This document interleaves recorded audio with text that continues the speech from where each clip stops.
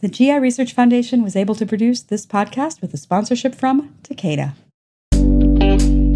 If we can track these patients from the time that the pouch is created to the time that they develop their disease, we can determine the progression of events. We can see things happen before the development of disease. Welcome to Visceral, the new podcast from the Gastrointestinal Research Foundation's Gut Instincts, where we explore the ins and outs of digestive health science with leaders in the field and those who have been impacted by living with digestive diseases. My name is Anna Gomberg, and I work at the University of Chicago Digestive Diseases Center at the University of Chicago Medicine. With me today is my friend Eugene Chang, uh, we call Gene, the Martin Boyer Professor of Medicine and Director of the Digestive Diseases Research Core Center. Gene is also the Associate Director of the Inflammatory Bowel Disease Center at the University of Chicago Medicine and overall living legend in digestive diseases research. Dr. Chang has spent his entire career, over 30 years, conducting basic, translational, and clinical research in digestive diseases, including the inflammatory bowel diseases, Crohn's disease, and ulcerative colitis. For the last several years, he has employed his not inconsiderable expertise investigating the intestinal microbiome. Thank you for being with us today for this first episode of Visceral. Uh, to get started, one interesting fact about you, Dr. Chang, is that you were trained as an MD, a medical doctor, a clinician, a person who treats patients, but you have also basically built your career in research and all kinds of research, basic, translational, and clinical research. Uh, I have had the privilege of hearing you speak a little bit about what that means for you, but maybe you could tell us more about how that perspective informs your work and what has that meant for your research program in your lab. I see having an MD as being an advantage. Yeah. Because uh, you're able to see what the problems are and uh, what unmet needs need to be uh, addressed. Um, so this is what I do day to day. I, am the, the person who generates the ideas. I decide uh, the, the direction of our research. Uh, almost everything that we do in the lab is directed to answering a particular question that is of clinical relevance. And that truly means that you're taking basic science research and kind of always are focused on what good that might do for patients in the end. I should mention that you know we don't just do basic science research. Our our research program and programs really span from basic to translational to clinical. We we actually have uh, several studies that involve uh, study of patient populations. I actually, in looking at your CV and looking at all of the kinds of work that you've done, even prior to, I feel like the last 10 years, which has really been microbiome focused, and uh, it is, it's every kind of study uh, that can be done in this area. Um, what you know, just in touching on that, what drew you to IBD research? What drew you to digestive diseases in general as a person, um, rather than even as a scientist? So th- this was interesting because uh, I really wasn't doing IBD research, and I didn't have any clinical expertise in taking care of IBD patients until I would say the early 1990s. And at that time, um, the chairman of medicine was Arthur Rubenstein. Yeah. And uh, Arthur decided that we needed to have a basic science or translational science program in inflammatory bowel diseases. And I think that was associated with uh, some grant funding that he had received to start the program. And a national search was done, uh, of which uh, I think that many candidates came to interview for to run that program. But as it turned out, they um, decided that um, they would look at me as an internal candidate and ultimately that's how I got into IBD.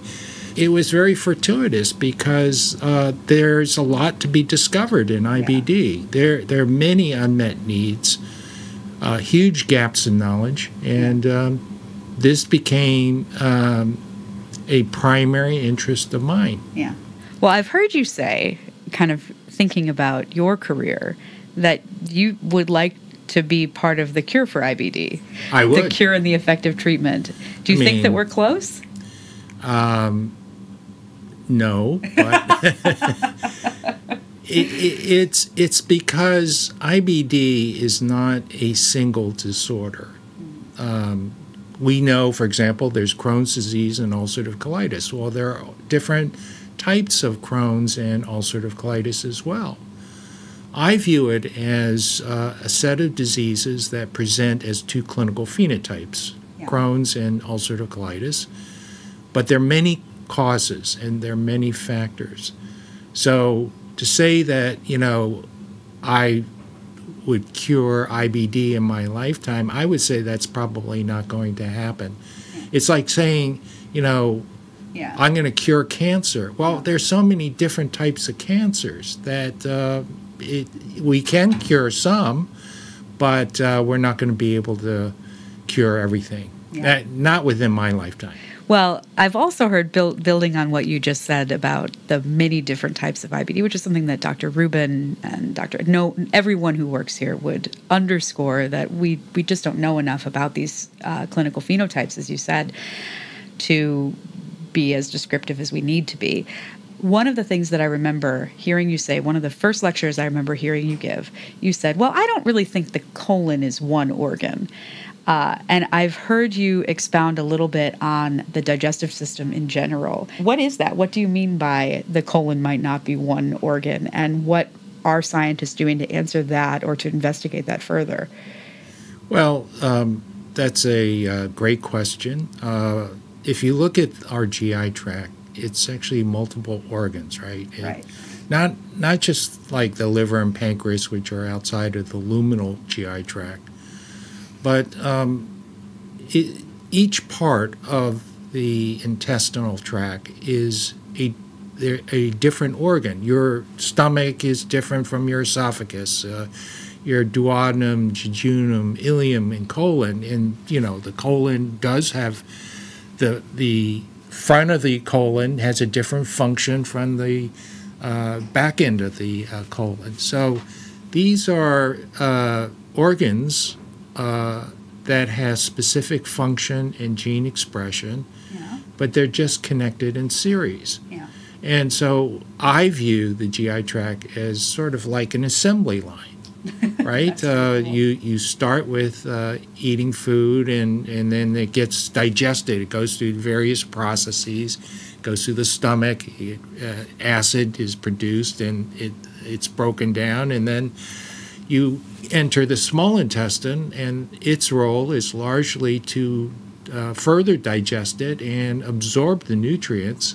Then, when it comes to the colon, uh, I think part of it is that uh, whatever is left is uh, meal a meal for the microbiome. Sure. Um, and there, I think that uh, the microbiome produces many, many molecules, uh, metabolites that have benefit to us yeah. and are absolutely essential. Yeah. Uh, and deficiencies or imbalances in the microbiome can potentially cause or contribute to the development of inflammatory bowel diseases. Right. So um, I look at the uh, the GI tract as a very very complex system, mm-hmm. but it's the complexity that really attracts me to understanding how all these parts mm-hmm. come together yeah. and functions uh, in, in a way that we don't even think about uh, what goes on in our digestive processes. Most of us are not affected at all. It's it's so complicated with so many moving parts, and yet it works so well for most people. Well, works so smoothly and so well until it doesn't, and yes. and that is the the the truly remarkable clinical stories we hear all the time are about patients that are fine and then they take a trip or they have some sort of they go to college and then they come back three months later with full full blown ulcerative colitis and we don't really know how that happens. Um, but i think some of the work that you're looking at um, is certainly helping to elucidate what those mechanisms are at uh, a recent continuing medical education program we did, you shared what I have come to think of as one of my favorite slides, um, which I'll include in our show notes. And in that slide, you see the rise of the Western diet throughout the world over time and the corresponding rise of IBD. And I think it's kind of fascinating that your research focuses primarily on the microbiome, which is like the teeny tiny interior. And yet you were zooming out uh, to basically the whole world to see that these patterns were emerging. How does microbiome research relate to this global phenomenon, these uh, epidemiological trends? And with these trends, can we improve individuals' microbiomes to help stem the tide of inflammatory bowel disease? Um, and basically, what what does that look like to you? Actually, this this is what we study, right? right. We're we're looking at environmental, dietary, uh, lifestyle factors that impact the uh, these trillions of microbes uh, that live within us. The, these microbes make up uh, uh, a vital organ. They they are um, they provide uh, functions that we absolutely need. Now, that did not come about uh, just by chance. Sure. Uh, we, are, we select our microbes very, very carefully. And, and I would even say uh, that we evolved uh, with our microbes. Uh, and this is uh, and we evolved in a way that we we created through our own genes and uh, physiology ecosystems that attract uh, certain types of microbes that will benefit us. Um, that uh, relationship that has happened for thousands of years has now been altered by what we're doing to ourselves we're changing. We've changed our diet. Uh, we've changed our uh, lifestyle. We've the environment has changed. Uh, we eat, um, uh, you know, more animal-based foods rather than uh, plant-based foods, and you can imagine that our um, genetics and our biology has not caught up with that.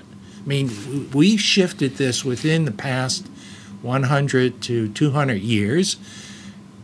But this relationship that we have with our microbes in the environment, I mean, that has happened over eons. Mm-hmm. And um, so this mismatch mm-hmm.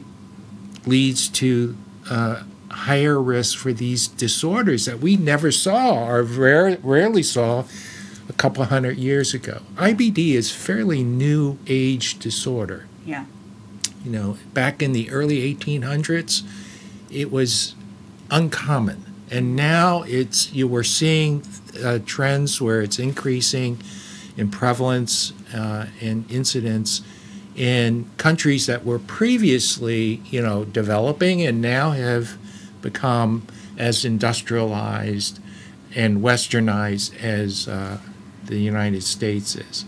So it's clearly uh, a IBD is an example of a disorder that, um, in many ways, uh, was really created by us, right? Sure. Um, now, there is certainly a genetic basis for this, but it's unlikely that over 200 years that you would have enough drift in population sure. genetics to explain that. So it really has to be changes in our environment, lifestyle, and diet. What was it? So in the 90s, let's say when Judy Cho, Cho, when Judy Cho, in the 90s, when Judy Cho and and the team here that worked to develop to, to identify the NOD2 gene, it must have seemed I, I know that from looking at your research that you know gene that was the focus. And then we discovered that there were so many genes associated that it was it was it became sort of a less important focus in the research paradigm. But is there I guess what was that shift like? What did it what did it feel like when we sort of said, okay, well, there's a lot of genetic associations. We know that, but we need to look more deeper and look at something else. Yeah. So you know uh, the the discovery of NOD2 mm. uh, as uh, a risk variant for largely for Crohn's disease. Yeah. Uh, was um, I think a landmark finding because what NOD2 does is it's part of our immune system, our, our surveillance of these microbes that live within us. Yeah. Uh, and um, in fact, the stimulus or the, the, uh, the factor that activates NOD2 is a product of bacteria, gut bacteria.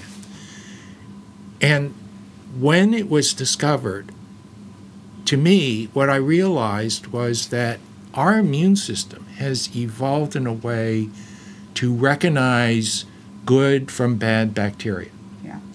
and or microbes. Um, and I I would say that um, that really uh, underscored the importance of the gut microbiome in diseases like IBD.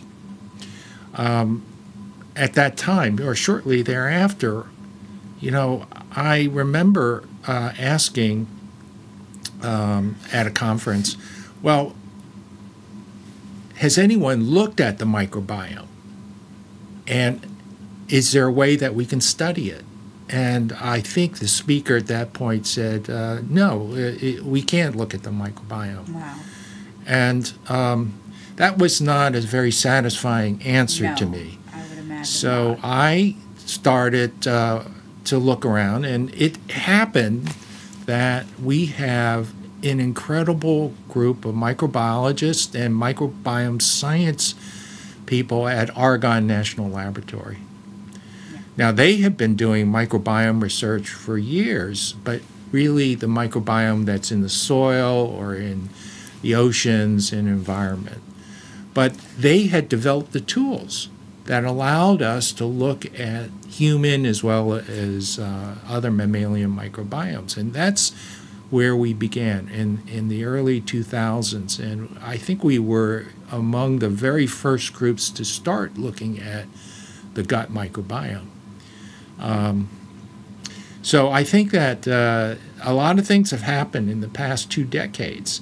Uh, what we couldn't do 20 years ago, we can do very well right now. We have very advanced technologies to look at these trillions of organisms in many different ways and how they can impact our own biology, physiology, development.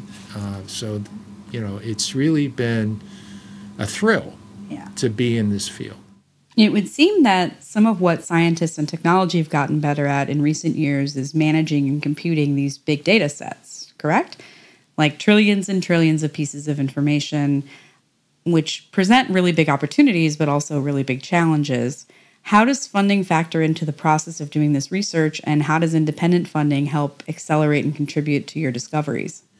Well, so funding is uh, largely uh, through um, the National Institutes of Health. At least that's uh, where we get most of our funding.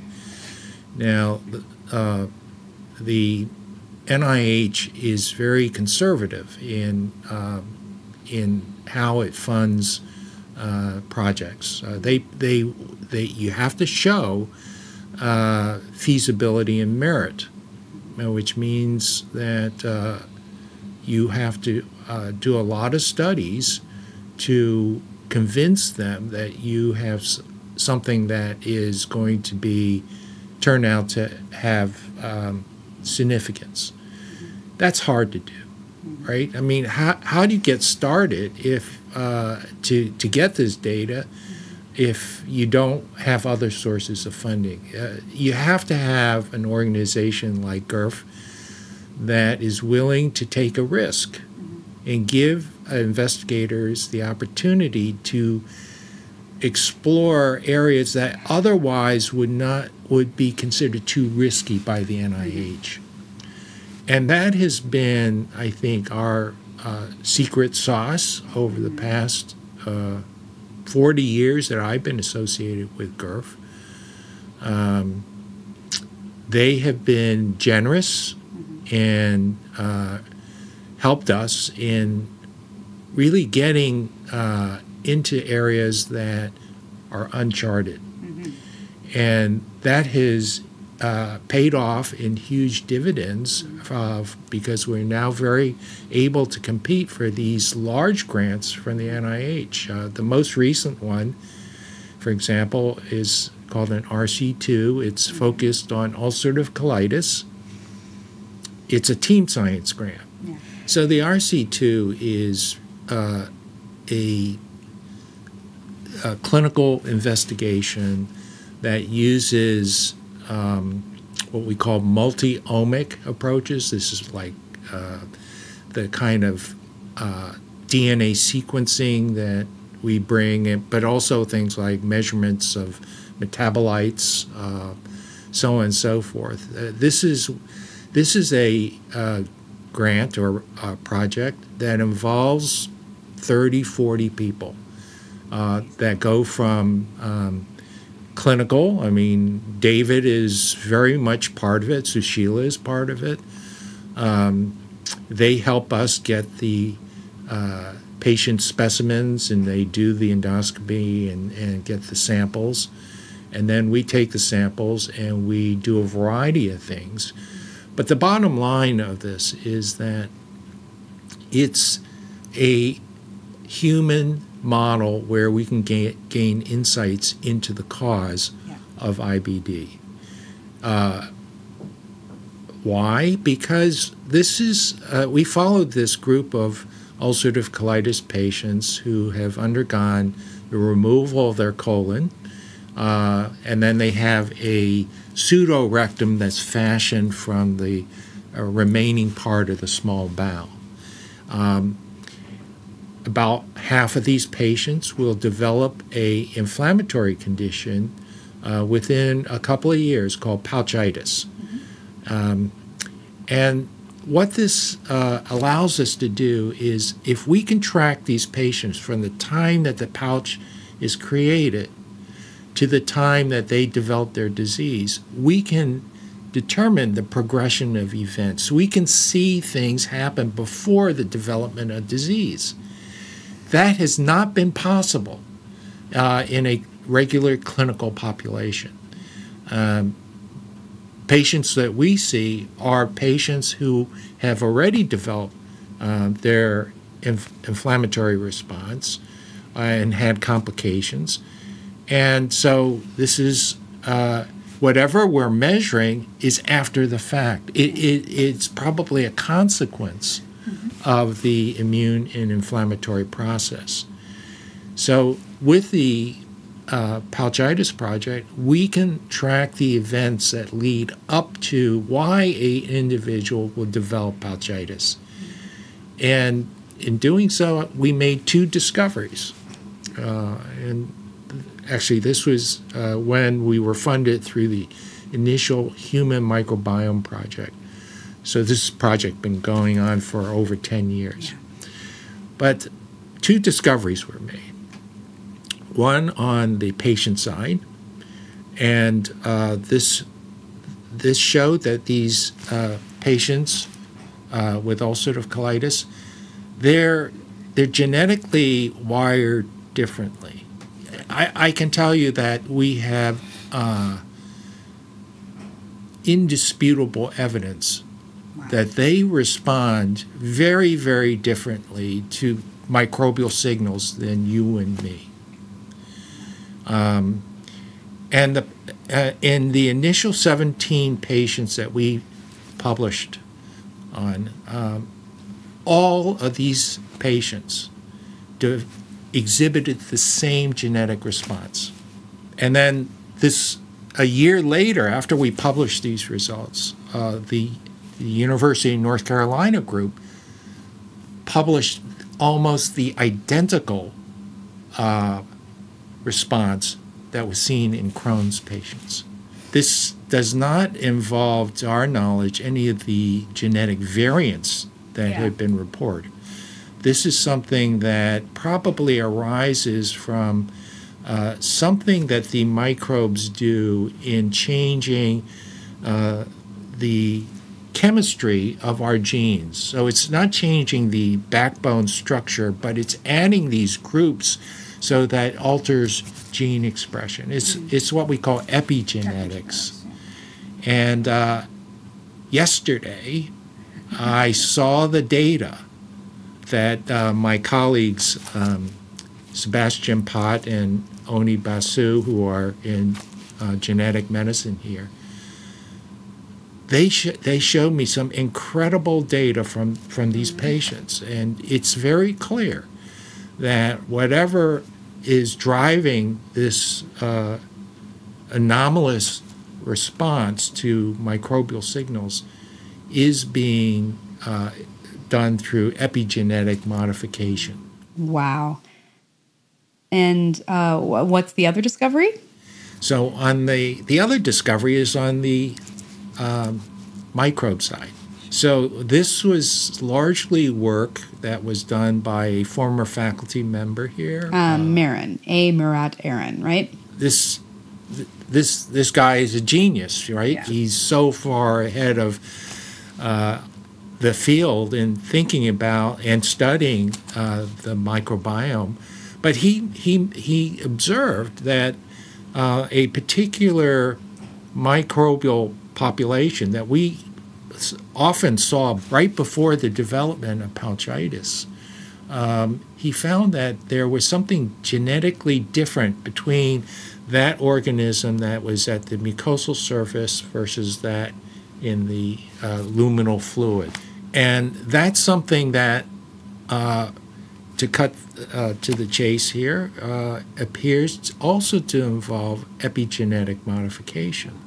Um, I didn't know that bacteria could undergo epigenetic modification, but it is clear that, and this is something, again, where we had to bring in an expert, uh, uh, Tao Pan, who is a professor, uh, another very brilliant person, but he identified uh, uh, parts of the DNA that were being modified by these microbes.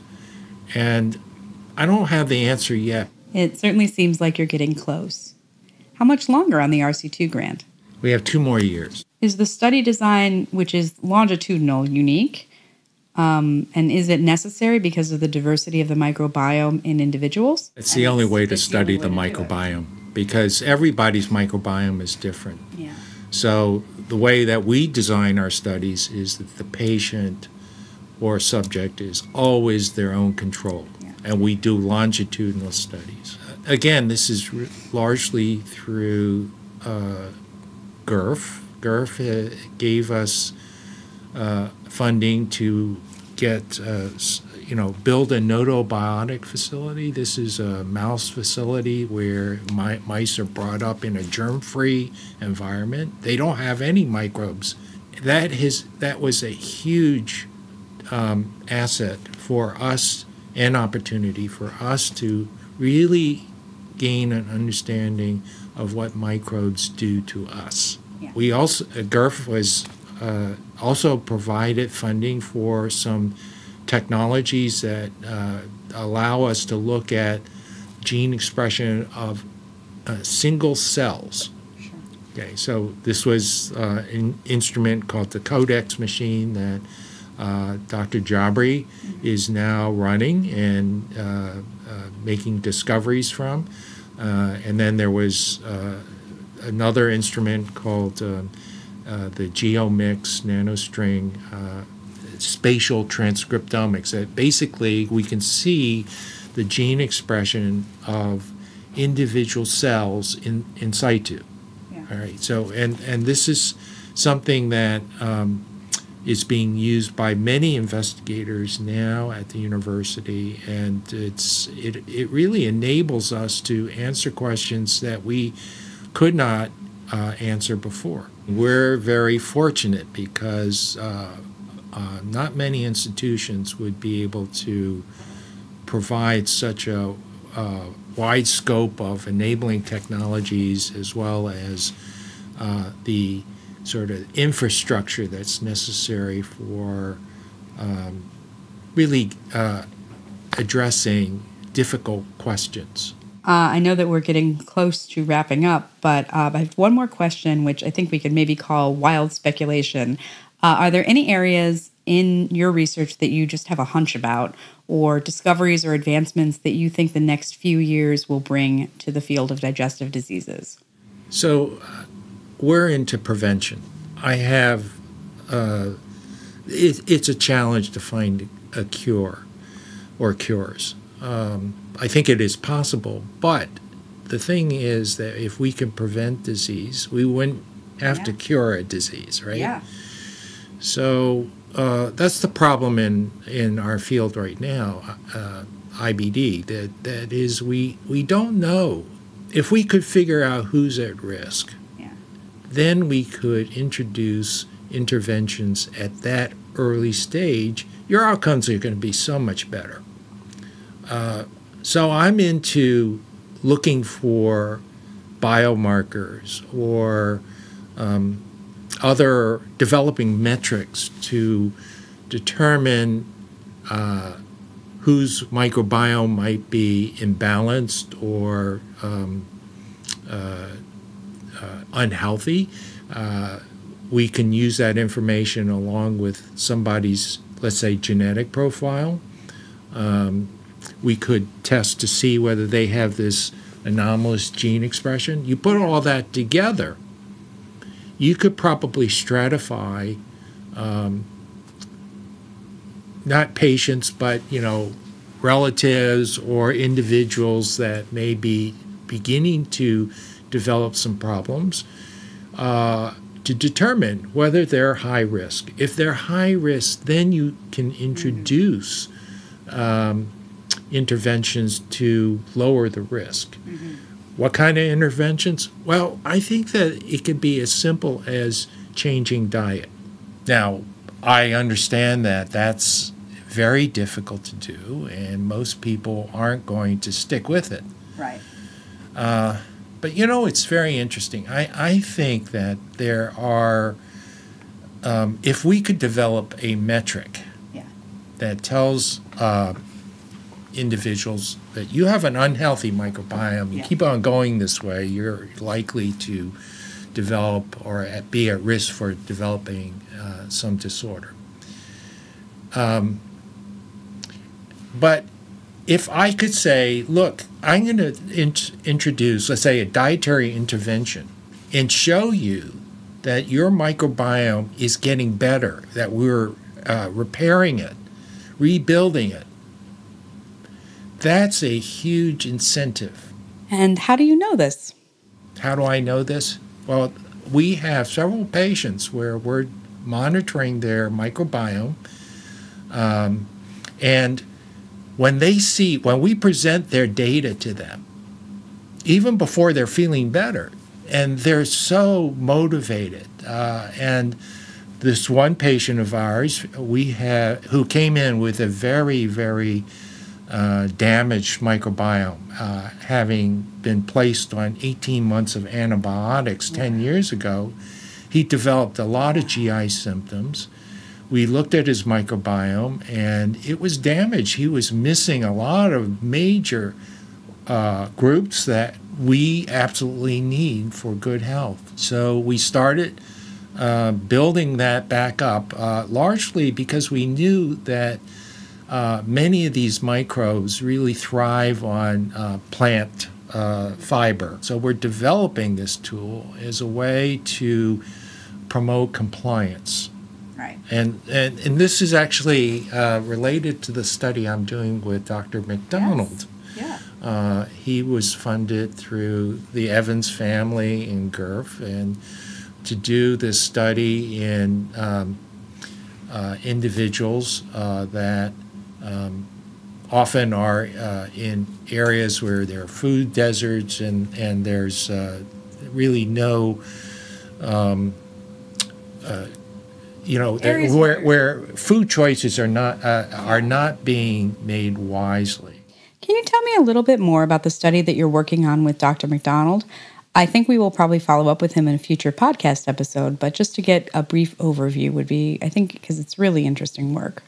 So uh, we're going to work with Dr. McDonald in using this set of tools to determine as he introduces dietary uh, therapies. You know, he, he does it two ways. One is to try to educate patients on how to cook foods and to make wise choices. Uh, the other way is where he has an obesity clinic that he uh, is trying different measures to try to uh, get them to uh, lose weight. Uh, but I think that a tool like this would allow patients to see that they're moving in the right direction. And then, this, then the weight loss, when it comes, will be a further reinforcement. That is just really so exciting. And I can't wait to talk to him and to hear more about the progress that you're making on that project as it develops. And where can people find you on the internet? I know there's changlab.uchicago.edu. Uh, are you on any social media? When it comes to social media, I really haven't been uh, done very much. I mean, I think I have a Facebook account and even uh, I have a Twitter account, but I Actually, I've never used Twitter. You write the papers. You say you, if we want to know what doc, what you're doing, Dr. Chang, we should read gastroenterology and inflammatory bowel diseases. I get it. That makes sense to me. So we will always be looking for um, the newest work that's coming out of your lab. So thank you very, very much. It's I'm been a pleasure. Thank you for listening to the first episode of the podcast Visceral from the GI Research Foundation. This episode was written, produced, and edited by me, Anna Gomberg, and mixed by the incredible Mike Collins Dowden, who also composed our theme music. We hope you'll join us next time and rate, like, or subscribe wherever you find your podcast. Until then, visit the GI Research Foundation at girf.org, that's G I R F.org, to learn more about how to support the research that treats, cures, and prevents digestive diseases.